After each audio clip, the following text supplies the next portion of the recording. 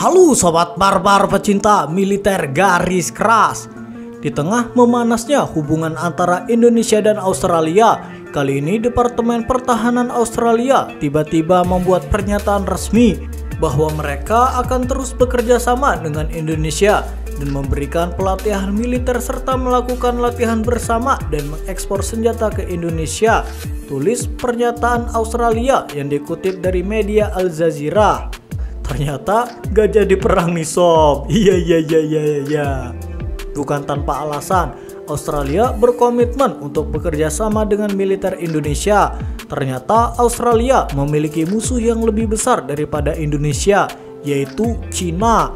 Di mana saat ini Cina adalah negara superpower yang menguasai Laut Cina Selatan. Negara yang dipandang sebagai penguasa Asia ini memiliki kekuatan militer terkuat ketiga di dunia setelah Rusia dan Amerika.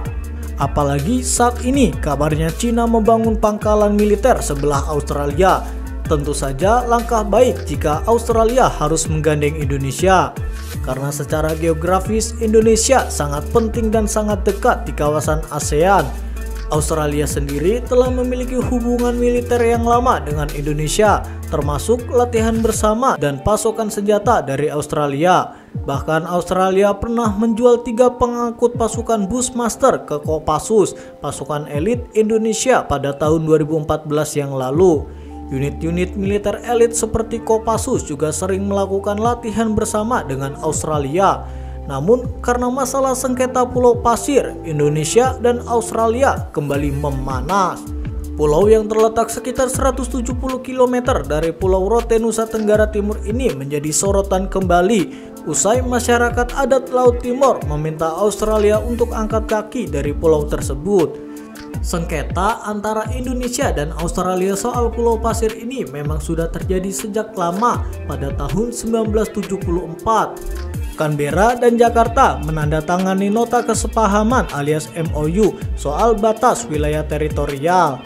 Dan Australia pun buru-buru mengeklaim Pulau Pasir menjadi wilayah milik mereka dan ini kerap menjadi perdebatan dengan masyarakat Indonesia dan Kementerian Luar Negeri. Indonesia sendiri sudah menegaskan bahwa Pulau Pasir memang benar bekas jajahan Inggris yang diberikan kepada Australia pada tahun 1933 dan sekarang masalahnya sudah clear, Pulau Pasir adalah milik Australia. Dan sekarang Australia justru menggandeng Indonesia untuk bekerja sama dalam militer. Sepertinya Australia mulai sadar musuh mereka sebenarnya adalah Cina bukan Indonesia. Iya iya iya iya iya. Ya. Bagaimana tanggapan kalian? Silahkan adu mekanik di kolom komentar.